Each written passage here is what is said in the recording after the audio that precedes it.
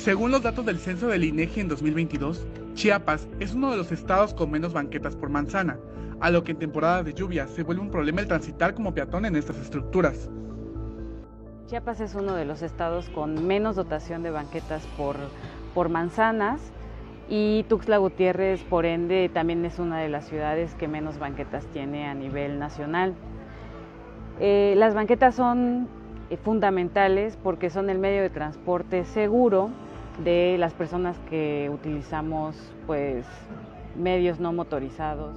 En temporada de lluvias, el transitar por las aceras se vuelve un problema, debido a que estas no tienen el mantenimiento correcto o en algunos casos son infraestructuras temporales.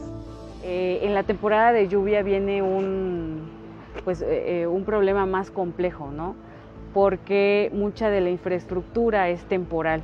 No sé, hay, hay muchos ejemplos en la ciudad de Tuxtla que las banquetas ya se están agrietando, que esa grieta genera un topecito, que personas de la tercera edad incluso se han caído por temas que son meramente este, que se pueden reponer, ¿no? que, que se pueden reconstruir, que se pueden hacer y que no tendrían que estar ocasionándole un problema a una persona que utiliza una banqueta. ¿no?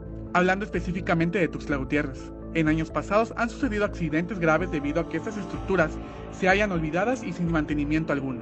Aquí hemos tenido muchos eh, malos ejemplos de cómo el encharcamiento, la, la, mala señalización genera que gente incluso se haya este, eh, ahogado o se haya ido por alguna eh, tubería o por algún este, tren pluvial, ¿no? Entonces, aparte de que la dotación de banquetas, pues en temporada de lluvia es peligrosa, también dificulta que una persona se pueda desplazar fácilmente. Incluso un tema que se ha criticado en la ciudad de Tuxtla Gutiérrez es la rehabilitación de las calles y banquetas en plena temporada de lluvias, lo cual genera otro tipo de problemas como lo es el acarreo de material de arrastre. Los están componiendo en temporada de lluvia y generan una complicación ya en otro, en otro espacio que no es este en el que están trabajando, ¿no? Porque es el acarreo de piedras, o sea, no es solamente que se encharque, es que con el agua y la velocidad acarrea tierra, basura, escombro, piedras y eso también impide la, movilidad de las personas, al menos las que, a las que se les dificulta como las personas con discapacidad o personas de la tercera edad. Según la arquitecta, las autoridades que deben intervenir en estos temas en el municipio de Tuxtla Gutiérrez son la Secretaría de Desarrollo Urbano en conjunto con la Secretaría de Obras Públicas. Y entre ellas, en conjunto, deben dotar de banquetas seguras al municipio, ¿no?